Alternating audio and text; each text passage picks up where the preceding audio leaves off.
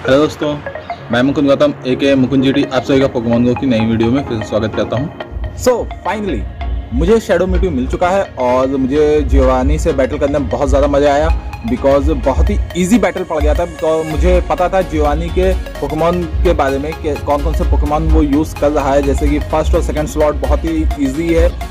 First slot में Persian और last slot यानी थर्ड स्लॉट में आपका म्यूटू आना है तो आप उनके अकॉर्डिंग अपने मॉन को सेट कर सकते हैं, यानी कि पर्सियन नॉर्मल टाइप है तो फाइटिंग टाइप आप यूज़ कर सकते हैं। और थर्ड स्लॉट में म्यूटू है तो आप डार्क टाइप कोई भी पोकेमॉन चूज़ कर सकते हैं, जो भी पावरफुल हो।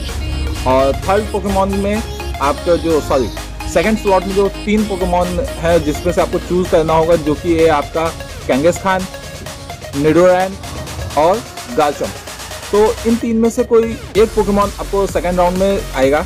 तो आपको एक ऐसा पोकेमॉन चुनना होगा जो कि एक बल्कि पोकेमॉन हो और काफ़ी पावरफुल भी हो, जो कि उस पर उनके, उसके अटैक्स सर्वाइव कर सके। और मेरे साथ भी यही हुआ। मैंने फ़र्स्ट और सेकंड मुझे पता थे। थर्ड वाले का कोई अंजम्पन लगाना था तो मैंने फ़र्स्ट और सेकंड का तो पोकेमॉन चुन लिया और थर्ड वाले का मैंने एक बल्कि पोकेमॉन उठा लिया और जिसकी वजह से मुझे बहुत ही ईजी हो गया जियोवानी को डिफीट करना। तो इसी तरीके से आप भी अपनी टीम बनाइए और ट्राई कीजिए। आपको भी बहुत ही जल्द शेडो म्यूटू मिल जाएगा। मुझे मिल गया, मुझे बहुत ही खुशी होगी बिकॉज़ मैंने प्लान किया था गोफेस्ट खेलने का, दो दिन का गोफेस्ट का इवेंट था, मैंने खेलने का प्लान किया था बट अनफॉर्चुनेटली ऑफिशियल वर्क आ जाने की वजह से मैं नहीं खेल पाया।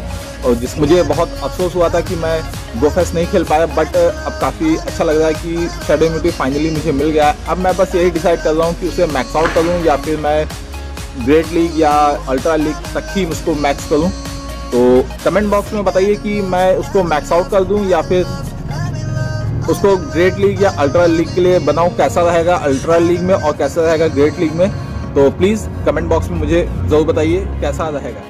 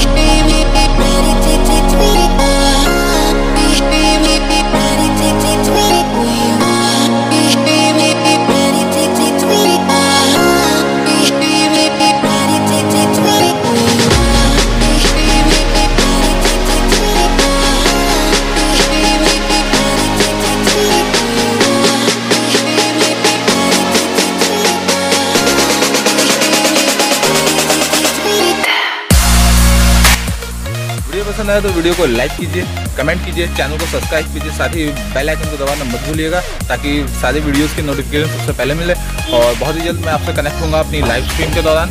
तो share team okay friend bye